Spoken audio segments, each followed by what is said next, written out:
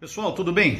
Aqui é o Coronel Telhada, deputado estadual. Estou fazendo esse vídeo aqui para mandar um grande abraço para meus amigos e minhas amigas da Guarda Civil Metropolitana aqui da cidade de São Paulo, enfim, para todas as guardas civis. Eu, o meu, o meu assessor, inspetor Coutinho, me passou aqui um vídeo, que eu não assisti o programa, onde o, o prefeito Bruno Covas, aqui da cidade de São Paulo, participando de um programa do Pânico, lá na Rádio Jovem Pan, é, dirigido pelo meu amigo Emílio Zurita, aproveitar um abraço a todo o pessoal do Pânico, com quem eu trabalhei muitos anos. E durante a entrevista, o prefeito de São Paulo fez essa lambança e falou essa besteira. Prestem atenção. Aqui a gente tem apenas GCM, que é uma guarda é, patrimonial. Ela colabora, ajuda, enfim, mas não é uma, não é uma guarda que tem poder de polícia para poder restringir. Pois é, chamou a Guarda Civil Metropolitana de Guarda Patrimonial, com todo o respeito que eu tenho aos amigos da Guarda Patrimonial, das guardas privadas, da segurança privada, pessoas que ajudam muito a todos, a segurança em geral. Mas, é, prefeito Bruno Covas, o senhor não só está totalmente enganado, como totalmente perdido. A Guarda Civil Metropolitana tem sim poder de polícia, é, eles têm atuação sim contra o crime. Se eles não tivessem poder de polícia não tivessem atuação contra o crime, o senhor não poderia colocá-los naquela maldita Cracolândia, onde eles ficam lá enferrujando, onde eles ficam lá criando até é, é, fungos de tanto tempo que a Guarda Municipal está parada lá aguentando os noia, aguentando o desaforo, aguentando absurdo daqueles noia.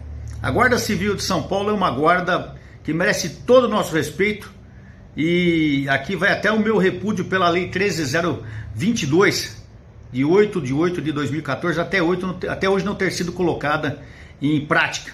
A guarda, as guardas civis, as guardas municipais já eram para ser polícia municipal.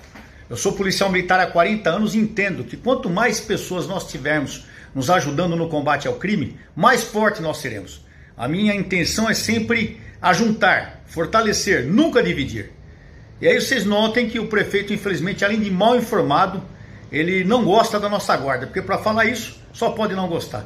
Se um dia eu fosse prefeito da cidade de São Paulo, a Guarda Civil Metropolitana teria uma força, uma força que não pensar duas vezes antes de fazer o que não deve.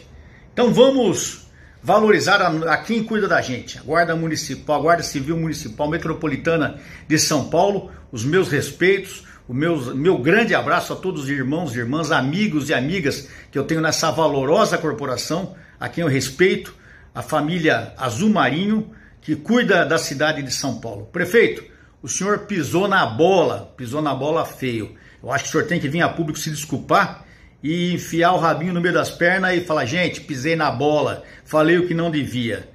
Triste isso.